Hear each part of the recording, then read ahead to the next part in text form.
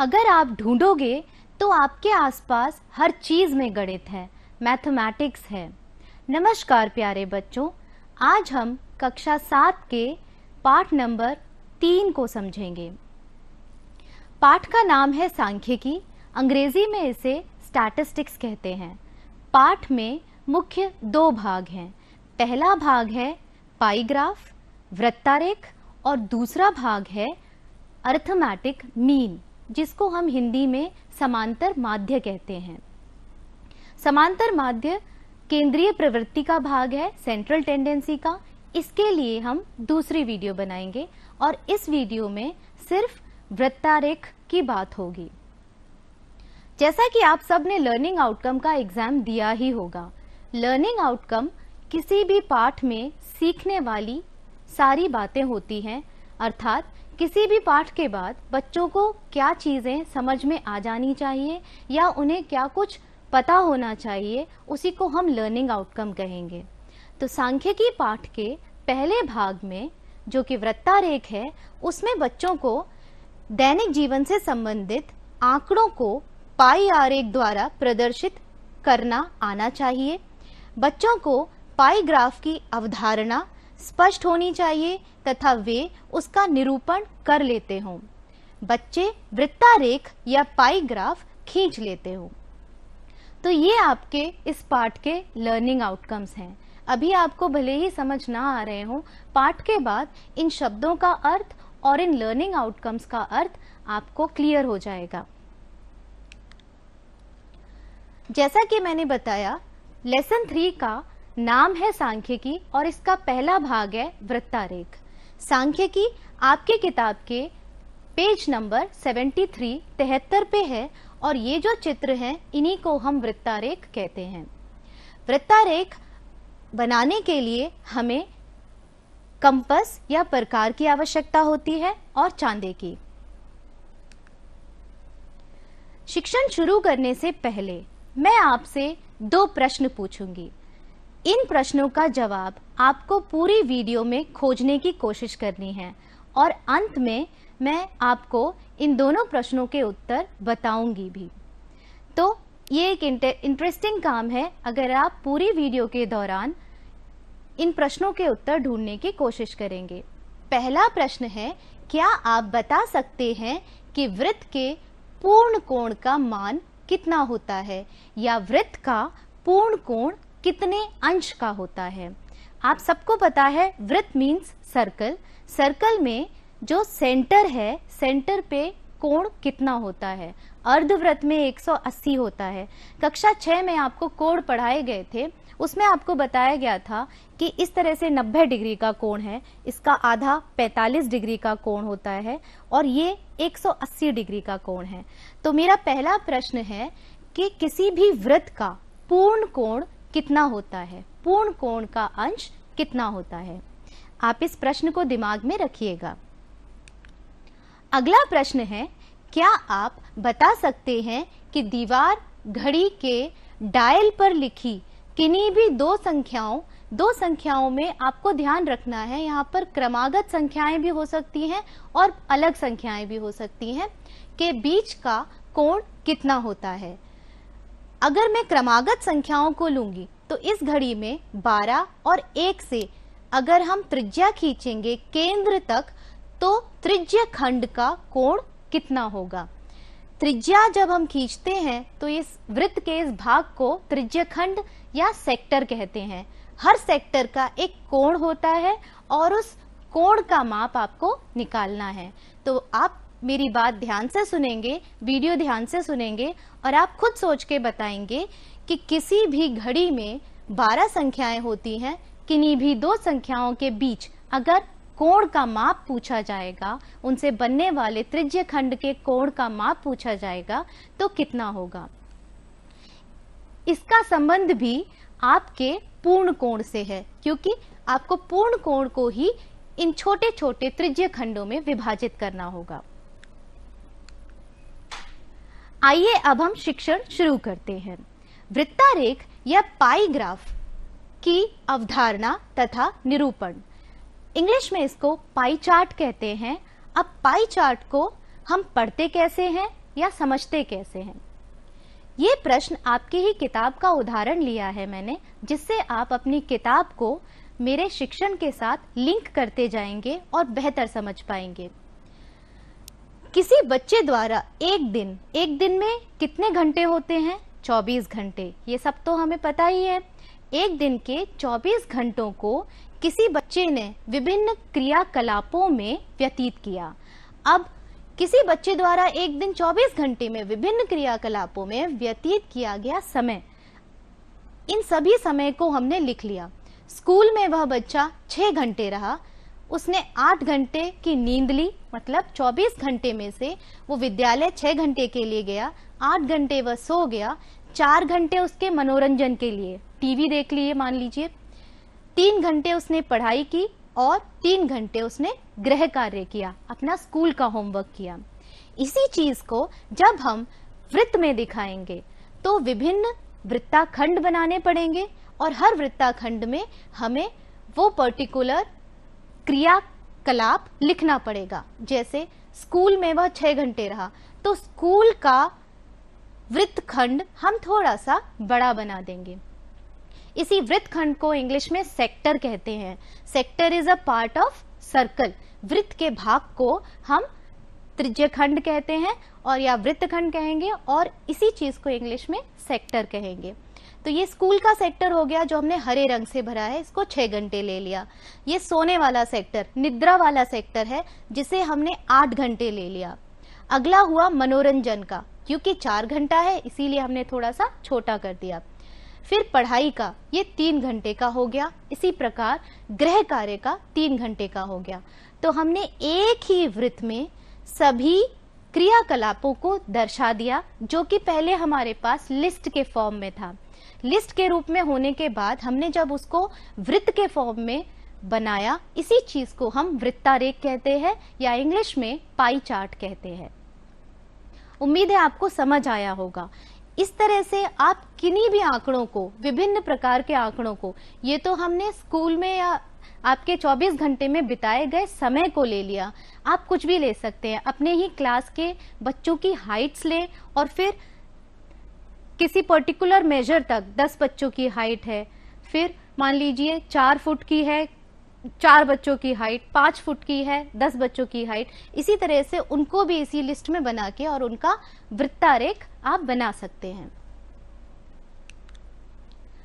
अब मैं आपको दिखाऊँगी एक टीएलएम टीएलएम में क्या है?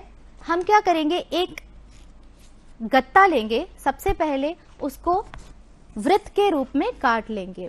आप किसी भी कलर का ले सकते हैं और उसके बाद हम अलग अलग पाँच वृत्त काटेंगे। अलग अलग रंग के लेंगे तो ज़्यादा अच्छा है और हर वृत्त की त्रिज्या काट देंगे।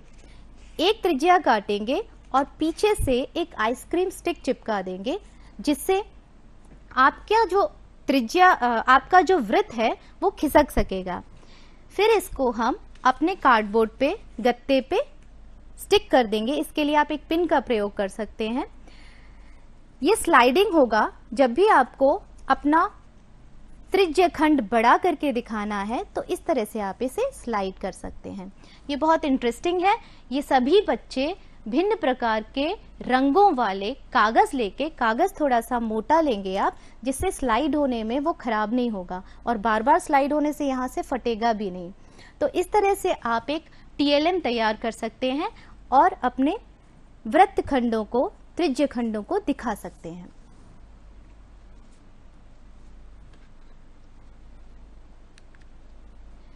अब आएगा वृत्तारेख या पाई ग्राफ खींचना construction of pie chart pie chart बनाने के लिए आपको बेसिकली तीन वस्तुओं की ज़रूरत पड़ेगी।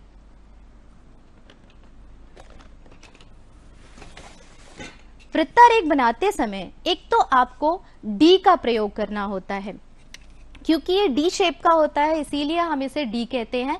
इंग्लिश में इसे प्रोट्रैक्टर कहते हैं और हिंदी में इसे आप लोग चांदा कहते हैं। ये बोर्ड पे बनाने के लिए है, इसलिए बहुत बड़ा है और जो आप अपने बॉक्स में रखते हैं, वो थोड़ा सा छोटा होता है। दूसरी चीज़ जो आपको ज़रूरत पड़ेगी, वो होता है कंपस कंपस को हिंदी में प्रकार कहते हैं। यहाँ पे आपके कंपस में नीडल होती है क्योंकि वो जो सुई है, वो आपकी नोटबुक में इंसर्ट कर देते हैं या फिक्स हो जाती है। और हमारे पास ये स्टिकर है, ये वैक्यूम वाला है और ये आपके बोर्ड पे चिपक जाएगा। इधर आपका पेंसिल होल्डर होता है, मेरे पास इसमें पेन होल्डर है। मार्कर कुछ भी लगा लेते हैं और फिर हम इसे वृत्त खींच लेते हैं। तीसरी चीज़ आपका रूलर तो ये तीनों टीएलएम आपके यूज़ होंगे जब हम वृत्त बनाएँगे और फिर उनके त्रिज्य खंड बनाएँगे और फाइनली वृत्ता रेख बनाएँगे।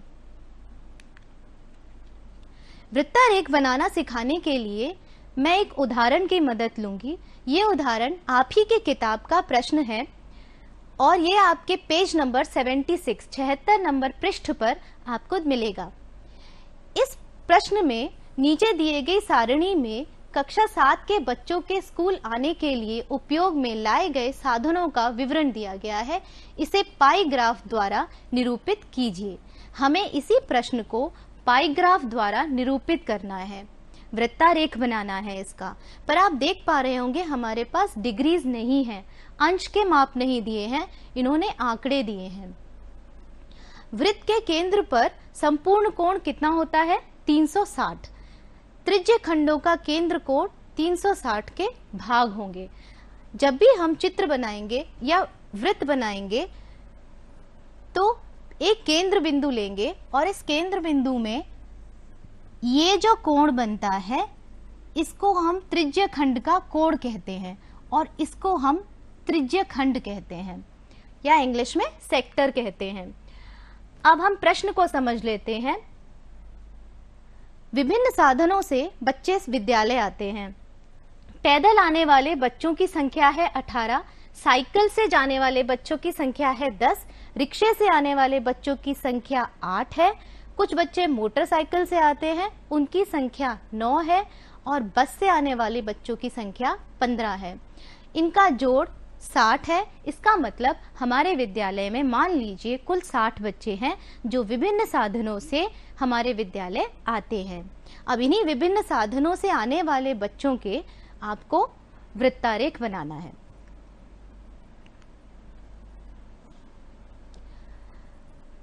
हम एक चार्ट बनाएँगे। इस चार्ट में आप देखिए, यातायात के साधन लिखे हैं। पैदल, साइकिल, रिक्शा, मोटरसाइकिल बस और इसका योगफल। शिक्षार्थियों के संख्या भाग। संख्या भाग कहेंगे या इसको हम संगत आंकड़ा भी कह सकते हैं।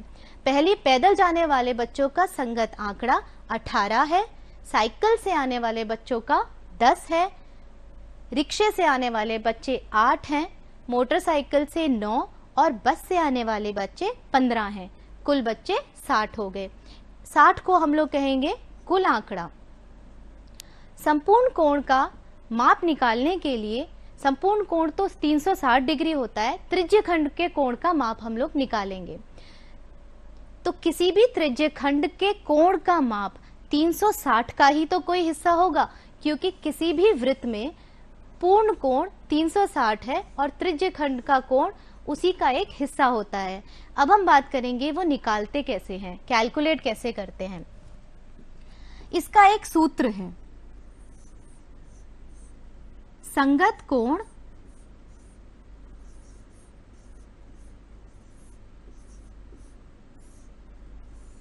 को भाग दे देते हैं।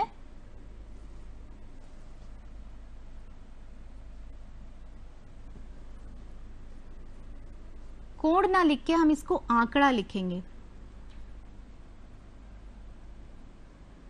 संगत आंकड़ा, क्योंकि ये आंकड़े हैं, कोड तो हम निकालेंगे।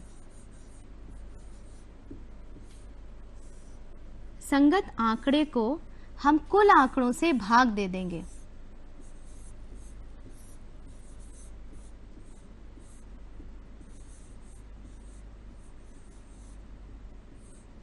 और इसे फिर हम पूर्ण कोण 360 डिग्री से गुणा कर देंगे। इसको हम डिग्री कहते हैं और या फिर अंश कहते हैं। पैदल जाने वाले शिक्षार्थियों की संख्या 18 है। तो सबसे पहले हम अपना संगत कोण लेंगे 18 18 बच्चे पैदल आते हैं और कुल विद्यालय में बच्चे हैं 60 18 को 60 से भाग देंगे, क्योंकि संगत आंकड़ा हो गया 18 और कुल आंकड़ा हो गया 60 इसे हम 360 से गुणा कर देंगे। जब हम इसे गुणा करेंगे तो गुणा करते समय आपको पता ही होगा, शून्य से शून्य काट देते हैं।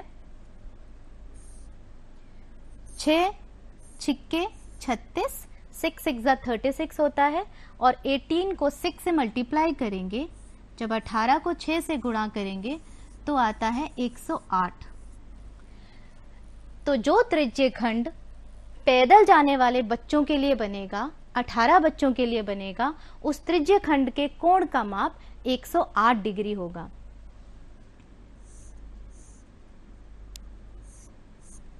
दूसरा साधन है साइकिल। साइकिल से आने वाले बच्चे हैं 10 तो 10 बच्चे संगत कोण हो गए? और कुल आंकड़ा हो गया 60 10 को हम 60 से भाग देंगे और फिर अपने पूर्ण कोण से गुणा कर देंगे। जब आप फिर से वही होगा, पूर्ण कोण से गुणा करेंगे और हम शून्य को कट कर देंगे। छ छिक छत्तीस और छ को 10 से गुणा करके सिक्स टेंजा सिक्सटी डिग्री अब जो त्रिज्य खंड बनेगा साइकिल से आने वाले बच्चों के लिए, उसका कोण होगा 60 डिग्री का। जब हम अपना वृत्त बनाना शुरू करेंगे, वृत्त बनाने के बाद हम अपना त्रिज्या बनाएँगे। त्रिज्या के बाद हम त्रिज्य खंड बनाते जाएँगे। त्रिज्य खंड बनाने के लिए हमें कोणों की आवश्यकता होगी और यही वह कोण है जो हम कैलकुलेट कर रहे हैं या हल कर रहे हैं, निकाल रहे हैं। तीसरा साधन है रिक्शा। रिक्शे से आने वाले बच्चे हैं आपके आठ। आठ बच्चों को फिर से कुल आंकड़े से भाग देकर 360 से गुणा कर देंगे।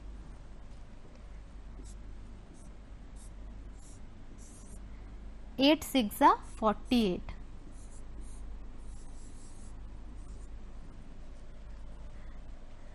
तो साइकिल से आने वाले बच्चों का हमारा निकला था 60 डिग्री का कोण और रिक्शे से आने वालों का निकल गया 48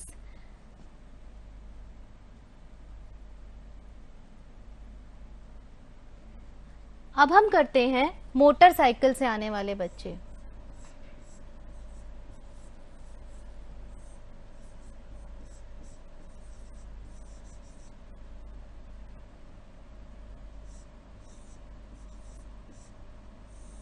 मोटरसाइकिल से आने वाले बच्चे हैं नौ। तो अब की बार हमारा संगत कोण हो गया? नौ। और कुल आंकड़े हो गए साठ। साठ बच्चे हैं और नौ बच्चे हमारे मोटरसाइकिल से आते हैं। तो ये हो गया संगत आंकड़ा और साठ हो गया कुल आंकड़ा। फिर से आप 360 से गुणा कर दीजिए। सिक्स नाइन ज़ा फिफ्टी फोर। ये हो गया 54 डिग्री आखिरी बचा है बस से आने वाले बच्चे. बस से आने वाले कुल बच्चे हैं 15 ये हो गया संगत आंकड़ा और कुल आंकड़ा हो गया 60 डिग्री फिर से हम इसे 360 से गुणा कर देंगे. छ छिक छत्तीस और 15 को 6 से गुणा करेंगे तो 90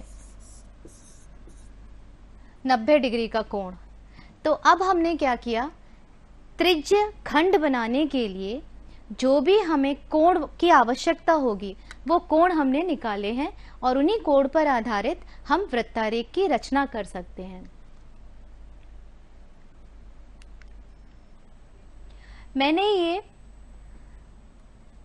स्क्रीन पे जब हम टच करते हैं तो लाइंस ड्रॉ हो जाती हैं, इसीलिए मैंने ये रचना पहले ही कर ली है। मैं आपको इसे समझा देती हूँ। सबसे पहले हमने क्या किया है? वृत्त बनाया। किसी भी त्रिज्या का वृत्त बना लेंगे। अब उस वृत्त के अंदर केंद्र बिंदु से एक त्रिज्या खींच लेंगे। पहले हमें एक त्रिज्या की आवश्यकता होगी, तभी हम आगे के त्रिज्य खंडों को बना पाएँगे। यहाँ पर हम अपना प्रोट्रैक्टर या फिर चांदा रखते हैं इस तरह।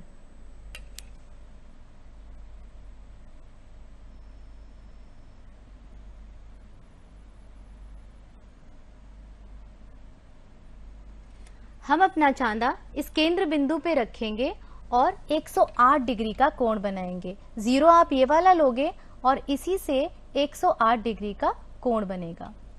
यहाँ पर, उसके बाद हम अपना चांदा इसी बिंदु पे रखेंगे, केंद्र बिंदु पे। पर जो रेखा है, हम ये वाली त्रिज्या लेंगे। दूसरी त्रिज्या।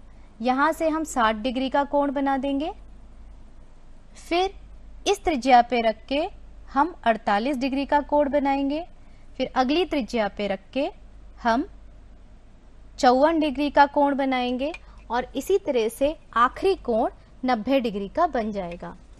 आप इसको जब जोड़ के देखेंगे सभी कोणों को तो उनका जोड़ 360 डिग्री होगा। 360 डिग्री इसीलिए होगा क्योंकि पूर्ण कोण आपका 360 होता है। 108, 60, 48, चौवन और 90 जब आप जोड़ते हैं तो 360 डिग्री आ जाएगा।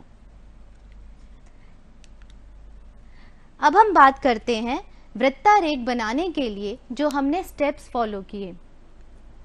हमने वृत्तारेख या पाई ग्राफ बनाने के लिए अपने प्रश्न में सबसे पहले कोई त्रिज्या लेकर एक वृत्त खींचा। सबसे पहले हमने एक वृत्त खींचा। त्रिज्या का आप कोई भी माप ले सकते हैं। कोई पर्टिकुलर लेंथ लेने की ज़रूरत नहीं है। त्रिज्या का मतलब रेडियस। जब भी आप सर्कल बनाओगे तो किसी भी एक पर्टिकुलर रेडियस का आप सर्कल बना दो। उसके बाद पुनः वृत्त में कोई त्रिज्या खींचकर वृत्त के आंतरिक क्षेत्र में चांदे की सहायता से 108 डिग्री के केंद्रीय कोण का त्रिज्य खंड खींचिए। सबसे पहले हमने एक त्रिज्या बनाई। त्रिज्या बनाने के बाद पहला कोण जो पैदल आने वाले बच्चों के त्रिज्य खंड को दर्शाएगा, उसका माप 108 डिग्री था। हमने 108 डिग्री का कोण बनाया, उसके बाद क्रमशः अगले कोण बनाए। अगले त्रिज्य खंडों को बनाने के लिए जो भी कोणों की आवश्यकता होगी 60 डिग्री बनाया, फिर 48 डिग्री, फिर चौवन डिग्री, फिर 90 डिग्री और इसी प्रकार हमने केंद्रीय कोण के त्रिज्य खंड खींच लिए। आखिर में संगत त्रिज्य खंडों में अपनाए गए साधनों के नाम लिखे। जब भी हम कोई भी वृत्तारेख बनाएँगे तो हम उसके त्रिज्य खंडों के कोणों को ध्यान में रखते हुए वृत्तारेख तो बना लेंगे, लेकिन हम उसे डिस्प्ले कैसे करेंगे, प्रदर्शित कैसे करेंगे? हमारे जो भी साधन होंगे या जिस भी विषय पे आपने वृत्तारेख बनाया है, उसे वहाँ पर अंकित करना अत्यंत आवश्यक है।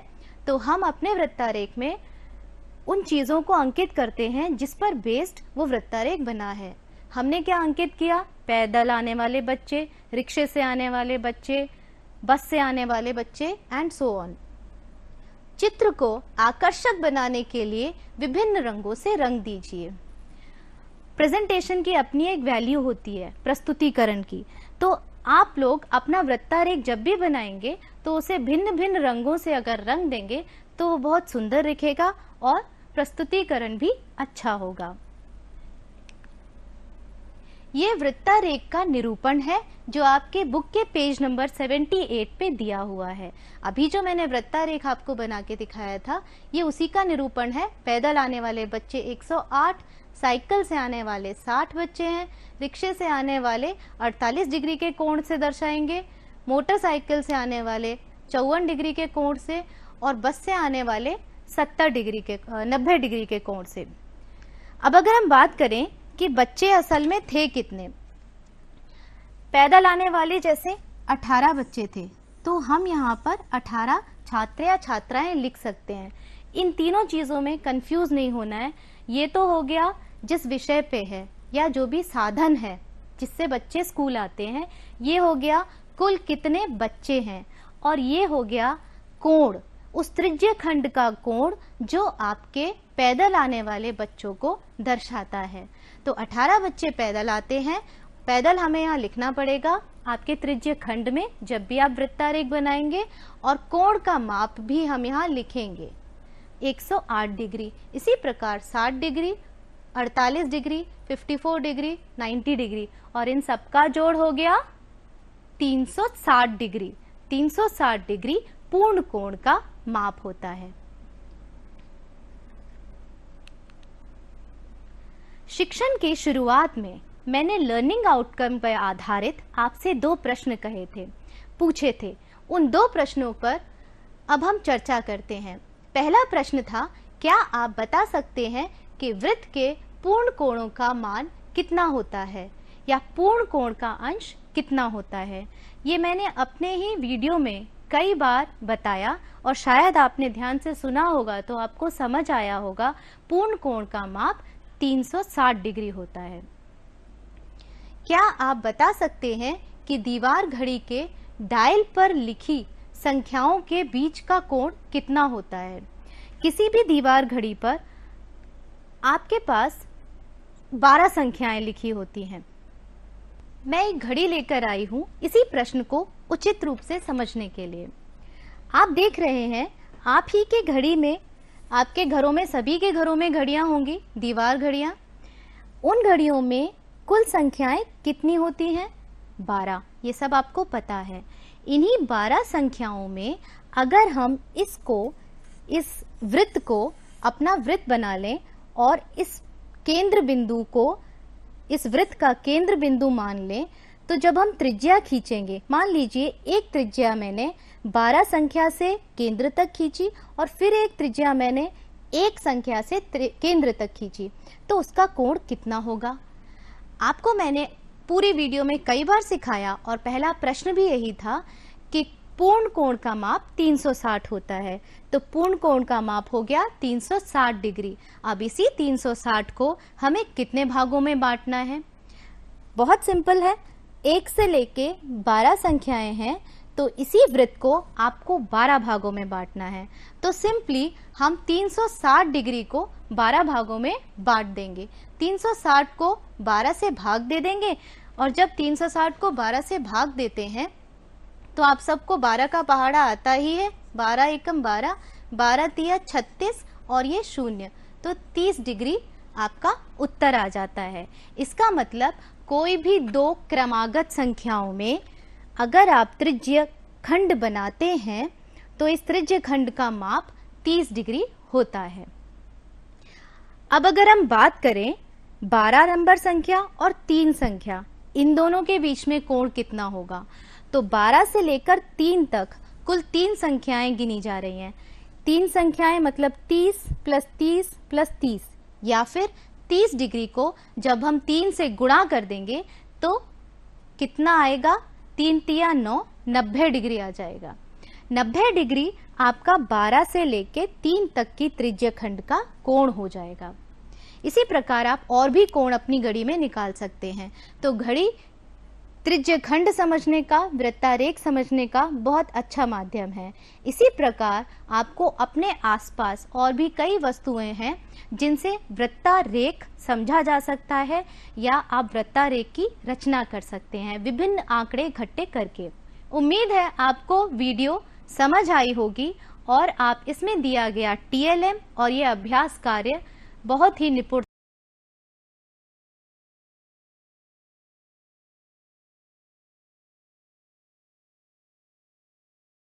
अगर आप ढूंढेंगे तो हर चीज़ में गणित है मैथमेटिक्स है। नमस्कार प्यारे बच्चों, आज हम कक्षा सात का पार्ट नंबर तीन सांख्यिकी पढ़ेंगे। इसे इंग्लिश में